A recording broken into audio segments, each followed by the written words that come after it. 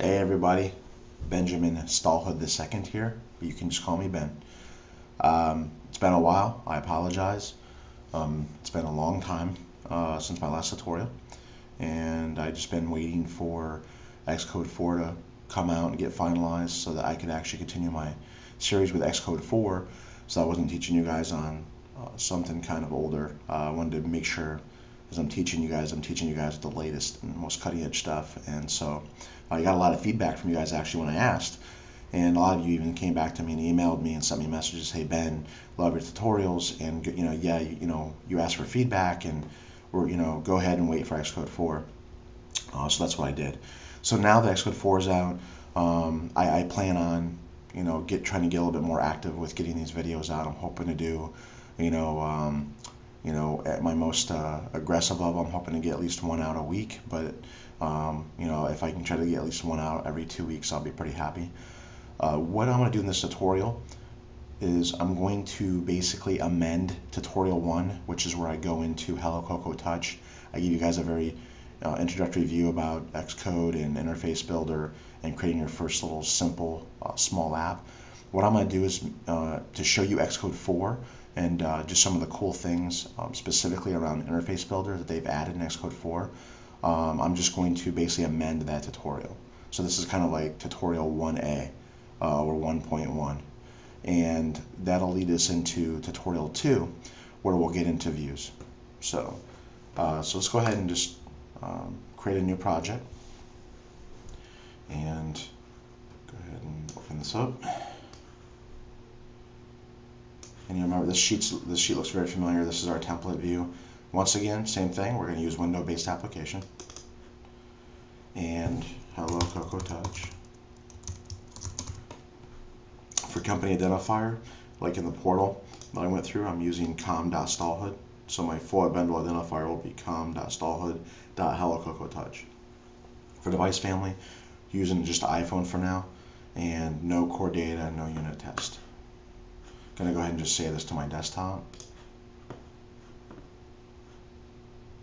And the first thing you'll see when you come in here, uh, Apple's trying to add uh, GUI interfaces to um, all their stuff. So you used to have an info plist editor where you could double click on a plist and you could uh, open up plist and look at them. And that's this is a, a nice review now to kind of the basic function, uh, basic options that you would put in your plist file if you remember uh, here from our tutorial where I went into that this is the first file that's opened. And all this is is this is giving you a nice view to that to where you can like toggle your device orientations drag and drop uh, images onto these image wells and then just add them to your project. Um, Apple's trying to make things a lot easier for us here. And we'll get into a lot of this stuff in detail as we um, in, in, future videos. We'll, we'll, we'll start to go through all these things and what you can do. Um, but right away we have our you know Cocoa Touch app delegate here uh, and just want to do a quick little overview. Uh, first thing is under help. If you go to Xcode help, this is this is a really great uh, introductory. You know, click to play. You go through and watch this video. I recommend go through, read all this, play the video, get familiar with keyboard shortcuts and all the different new Xcode 4 things. This is the organizer now. Uh, so they have the documentation, um, archives, projects, your repositories, and devices all in in one interface now. Uh, and you can get to it now through a quick little shortcut button now uh, in the upper right, open the organizer. But please, please take the time to, to watch the videos and, and just read through all this stuff to kind of get familiar with the interface. I'll give you a quick overview now though. It's broken into basically four areas or four panes. Um, so basically if you go to Xcode user guide, um, you have your navigator area, utility area, debug area, editor area. Uh, at the top you have the jump bars right here, which is basically kind of a context-aware, intelligent uh, um, bar that lets you navigate through your through your code and it, it, gives you related items and things like that. It's actually really nice as you start to use it. So what we're going to do is we're going to, uh, so this is the navigator area. The navigator area has seven views. So um, this is the, the basically this is the uh, project navigator that we're on now. Then you have symbols, search, issues, um, you have your debugging and you have your breakpoints and you have your logs. And you can get to these through command 1 through 7 on your keyboard, respectively. So this is your, that's your navigator.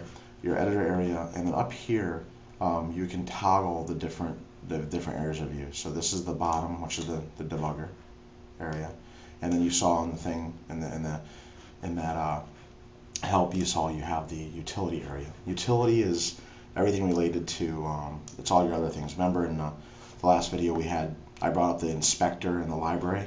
Well, here's your inspector and here's your library on the utility view. So this is all your controls and this is the media that's in your project.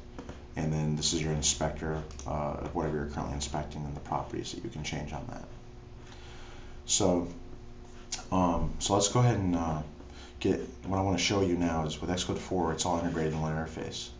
So if you go to main window nib now, you don't open up interface builder separately. It's actually going to open up in uh, a view something like this, right? So this is your interface builder view here.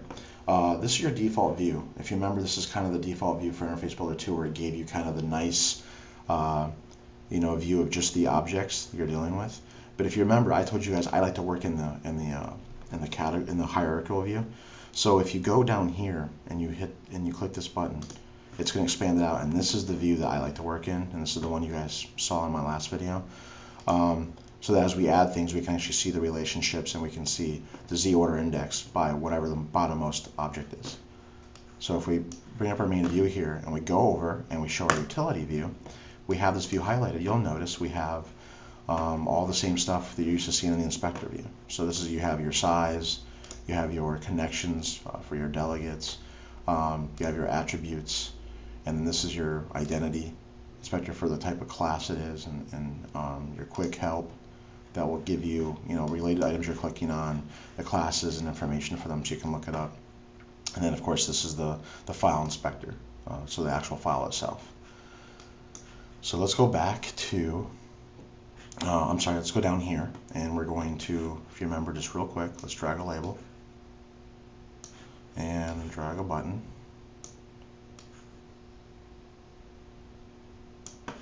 And we're going to center this. We're going to double click on it and get rid of the default label text. We're going to double click on our button and we're going to add hello Touch.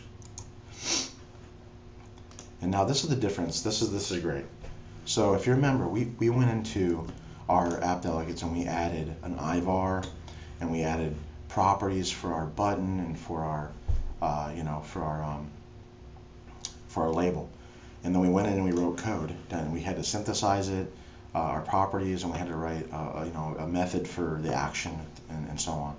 So this is this is a new, new feature in Xcode that I just love and I want to show you guys is if you go over here to this these buttons you have assistant editor and you have your version editor um, so you can see versions but this right here, assistant editor when you pull this open by the way the default if you go over here to view assistant layout, this is where you can change the layouts. And, and when it defaults, it's going to be on. It's going to be like basically another another vertical uh, view like this, and it makes it tough because you got all this going across the screen unless you've got a you know huge 30 or 40 inch screen, but I don't. So basically, what I did is I went to view and I said I want my assistant editors at the bottom. Okay. So what this does is it shows these editors are showing me the class or objects that's associated with this you know, with my what I have highlighted in Interface Builder. So what we're doing here is we're going to control click from our button and we're going to drag down here to the code and look at this. It's actually going to allow us to insert it into the code. So if we go here, it's actually already pulling up the fact that it's a UI button and an outlet and we're going to name the property. We'll just we'll call it uh, hello Cocoa Touch.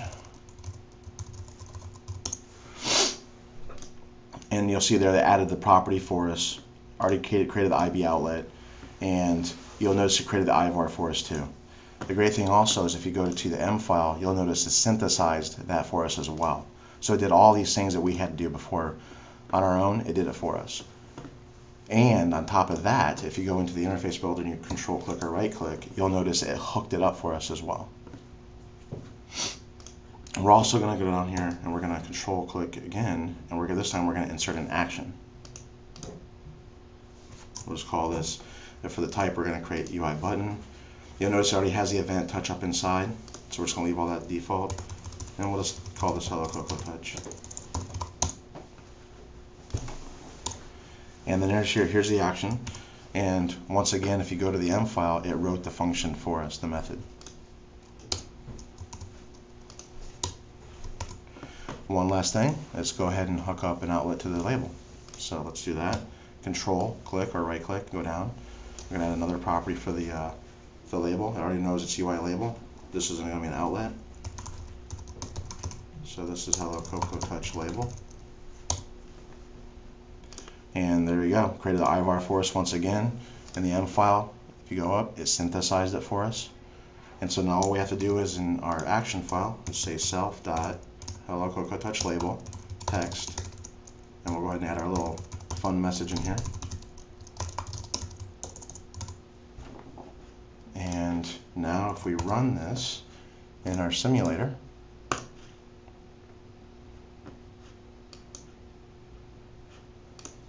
There we go. And so that's just a quick broad overview of Xcode 4.